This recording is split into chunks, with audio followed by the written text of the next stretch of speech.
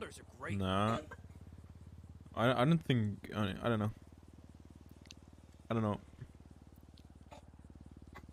I didn't get any PC component yet, so I'll probably just buy a new PC by myself. But I have enough money that I can spare. Getting a fucking like NASA PC, dude. Like a 380 Ti or some shit.